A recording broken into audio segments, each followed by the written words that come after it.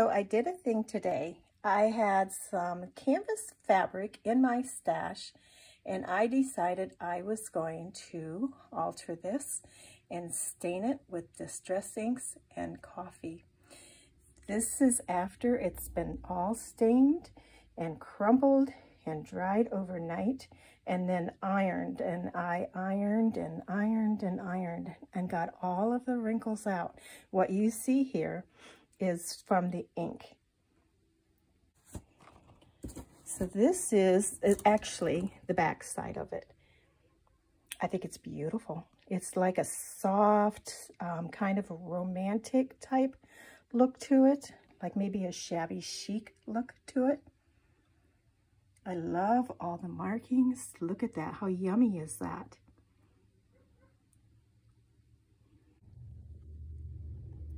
This piece is probably mm, maybe a yard and a half to two yards long.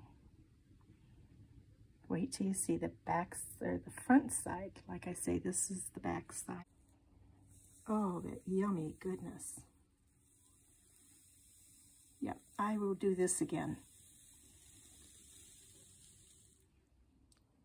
So now we have what I was considering to be the front side, although I think either side of this is going to work. This one is more of a grungy look to it. It's not like, it could still be shabby chic, um, but it's, it's more grungy. I don't even really know at this point which one I like the best. They're both so very, very pretty.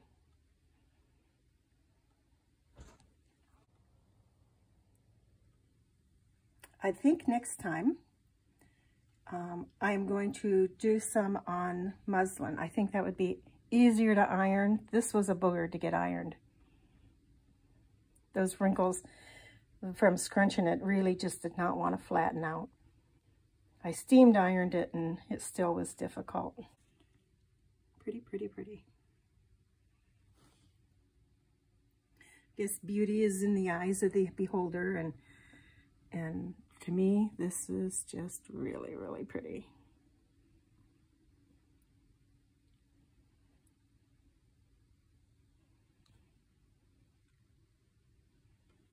So the process that I did to get this was I, um, I washed my fabric first and then I um, dried it and scrunched it all up, which it seemed to want to hold the scrunch even at that point. And then I sprayed it with tea. Then I got out my, oh, I'm not sure which ink pad. I'll have to look that up. My, one of my, I think it was Worn Lipstick, um, Distress ink.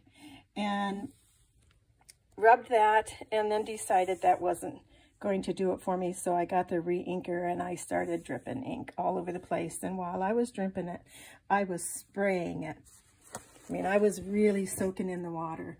And then I got the coffee out and I sprayed it with coffee and then I scrunched it some more and added some more of the Worn lipstick. I'm really quite surprised that it's not brighter than what it actually is, but I think I'm glad. The journal that I want to work with with this, um, I dyed some papers with uh, beetroot, and I think that they are going to match really nice. Here's some lace that I used with the beetroot. I mean, look how nice that's going to match up with that. And let's see. Okay, and here's here's some papers that I dyed with the beetroot. I just think this is going to be really, really nice together. I used stencils and got those designs on there. So my lace and my papers and my cloth. I did some fabric with it and I did some cheesecloth.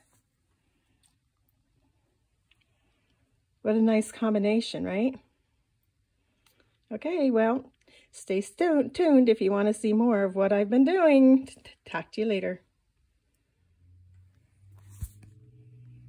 Okay, here's what we have with the fabric and the cheesecloth. the lace and a beet dyed piece of paper all on this what was going to be my back side, which is more like the shabby chic side of this fabric now. I think it's going to be a really good combination, guys.